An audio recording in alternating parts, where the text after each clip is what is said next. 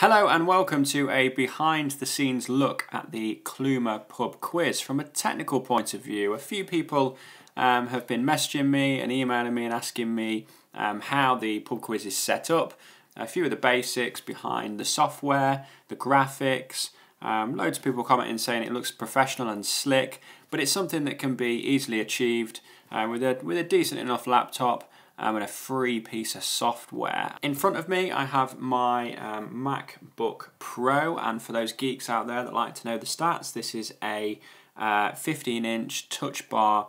Uh, MacBook Pro 2007, uh, 2017 model. Really, it's, it's, it's the brain, it's the engine room behind um, everything. This is really all that you need to get started with um, something uh, like the pub quiz or to go live with. So yeah, the piece of software um, I'm using is a piece of software called OBS. It's a free bit of software, which is great. Uh, and then go ahead and open that up. So as you can see here, we have the software open and the last thing that was playing was the thanks for joining screen from the final pub quiz of series one. OBS basically uh, when you first open it, it might look something similar to this. So the basics of it is, is that OBS is laid out in a way that um, can help you at first.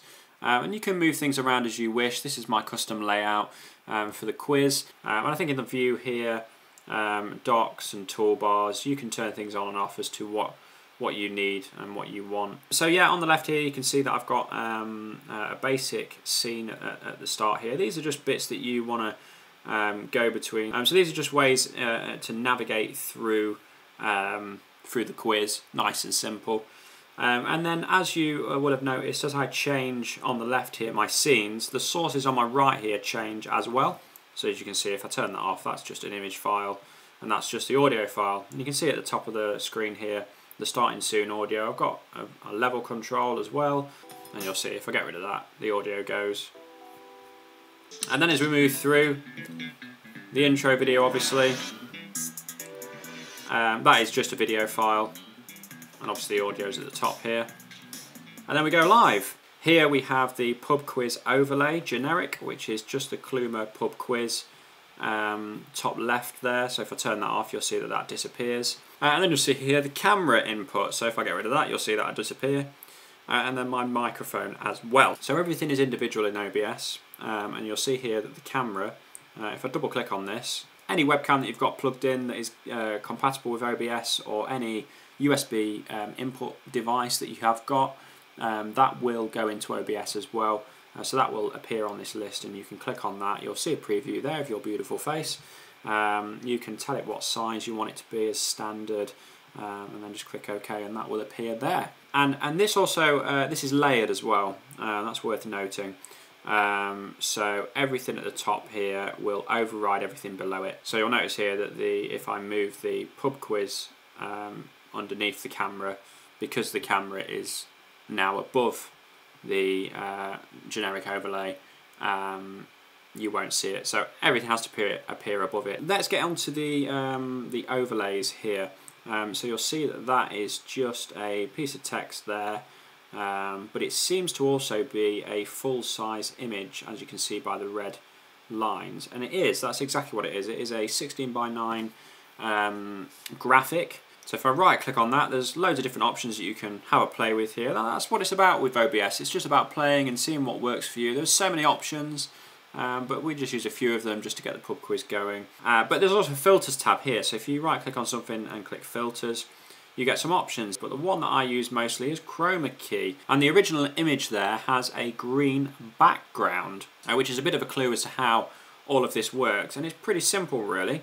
Um, if I take you to uh, my finder here, uh, round one, and I show you that, you'll get an idea of here of what is happening. So uh, it, everything that is green, basically like a green screen, becomes transparent in OBS yeah, uh, basically the way I make these is, is using uh, Keynote, as simple as that. So yeah, this is how it works basically. It's just loads of um, green screen files. So if I, uh, you know, copy one of these and duplicate it here, if I wanted to have something in the middle, I could do it and I could retype anything I want. Um, let's go, hello, this is a test page. Uh, put that at the bottom. Now you've got to bear in mind that um, you will I need to think about what is behind it. And then everything that's green is going to disappear, remember, so just using a, a standard shade of green. Then what I would do is just export that as a photo. So in most of these Keynote and PowerPoint, you can export as images for per slide. So something along the lines of file save as JPEGs or file export to images. And then I'll show you how we drop this in. Um, so uh, in any of your scenes here on the left, you can just drop them in by pressing the plus button and then image. There's loads of different options here that you can insert. All we do here is insert image. Uh, then you can, it's going to ask you for a name. Uh, that's what's going to appear in the sources here. And then browse for it. Click OK and you'll notice that the green is still there. We need to now get rid of that green. All we do is right click and filters. Effect filters here, we'd add and then click chroma key and you'll see there that our um, thing has appeared which is great. And if you need to make adjustments again you can you can just resize these um, and put them anywhere. And then in relation to adding videos and things like that again that's really easy. All you're doing is pressing add at the bottom media source name it video click browse and then you've got a few options here before you click OK. You've got the option to loop the video, so once it's finished it'll just continue looping forever. You've got another tick box here, which by default is ticked, which is restart playback when source becomes active. So the little eye icon that I've been using to show and hide things, what that basically means is that if I hide it um, and then I show it again, it will restart from the start. Uh, and then there's another option here, show nothing when playback ends. But then we just press OK, and that video has become active. Now you'll notice that this video is a lot larger by the big box than my frame output here. Um, so you can manually mess around with this if you want. You just right click, transform and fit to screen and that will do it automatically for you. Another thing to note is the audio output of OBS. So you're seeing here background music has appeared because in my sources now I have a background music um, which is the one that you're all used to, the kind of tense tension music, which is obviously left quite low. So my microphone, you'll see here, if I press on the settings cog um, and go to advanced audio properties, you get a few more options here. And you'll see here that the background music at the top there, the volume, you can, you can edit um, by one decimal point if you wanted to. Uh, fine adjustment, uh, ticket for mono if you want mono. Um, you can even balance it left or right. Um, uh, sync offset if you've got some issues with audio sync. And then audio monitoring, this is another bit to uh, keep an eye on. Um, so you'll notice that if I go back to uh, the video that we inserted here and I play it, um, we can't hear the audio for that video even though there is audio. You'll see at the top left of the screen here the, uh, the, the audio level meter is showing audio but we can't hear it. And there's a reason for that. By default, um, the monitoring of the audio is not present on the laptop. So even though the audio would be going live on the stream, um, you won't hear it live. But I tend to quite like to have um, a little bit of audio just so I, I know that it's happening. So the way you can do that is press on the cog, advanced audio properties, and then here you'll see the video at the bottom. Um, and here you'll see audio monitoring is currently off. So at the moment, monitor off the output is on so people on your stream could hear it. But if I turn monitor only output off, that basically means I will hear it, but no one on the stream will.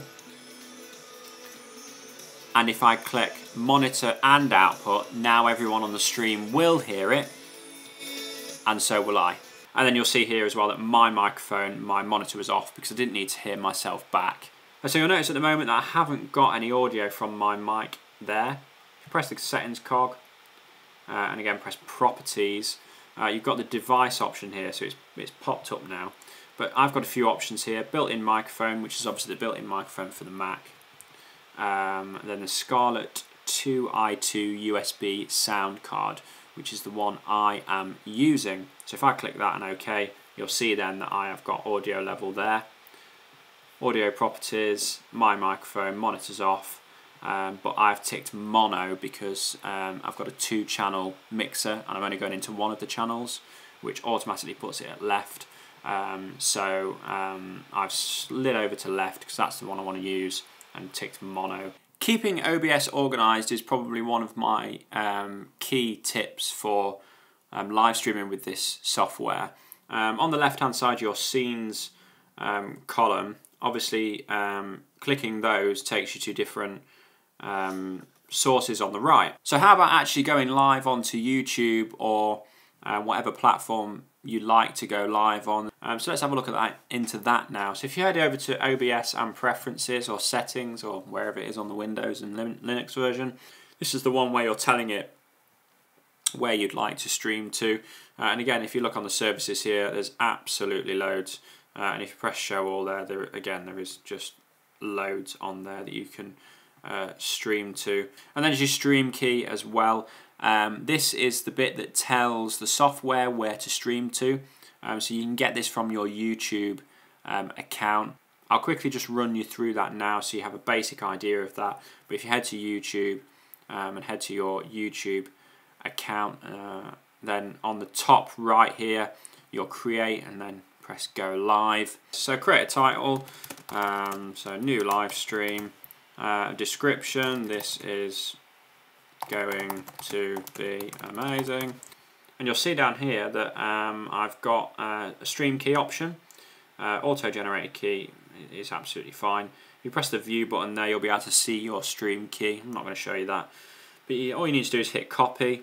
I'll copy it to your clipboard. Go ahead to OBS and simply paste that into your stream key and press OK. Uh, then we've got a few options really. We um, would we want to make sure here that we um, are on the first slide or scene that you would like to show live. Uh, make sure that your microphone isn't in there because you don't want people to hear you before you're live. I tend to only have the microphone in my uh, scenes that have the video. Um, so yeah, we're here holding in the holding scene here.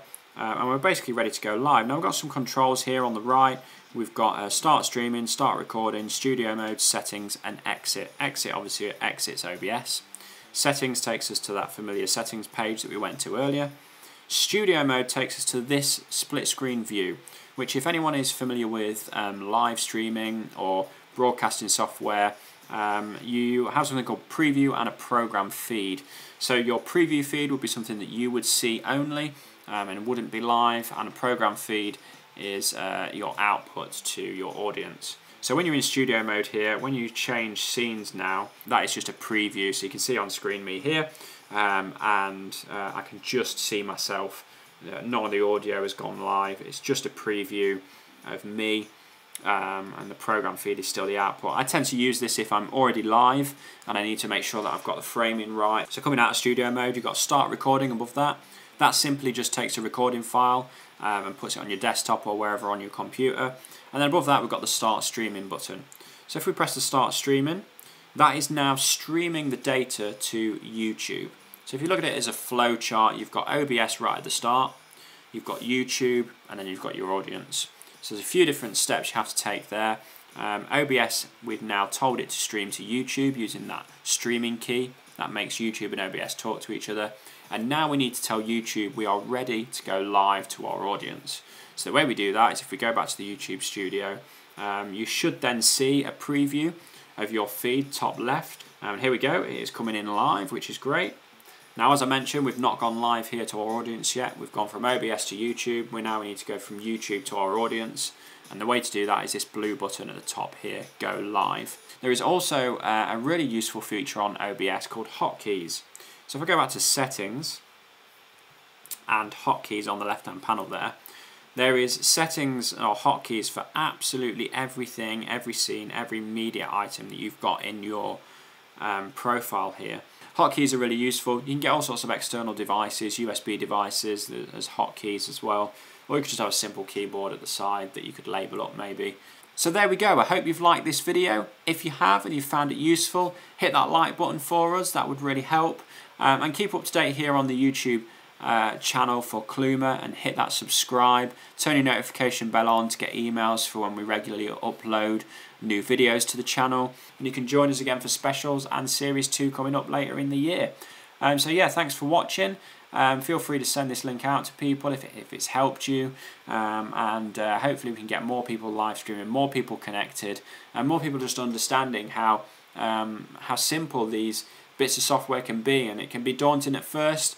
Um, but actually, just with a few JPEG images with a green background, um, you can do a really good, well presented pub quiz online, or anything that you can think of really um, to connect with people and entertain the nation. So, yeah, thank you very much for watching, and uh, we'll see you next time.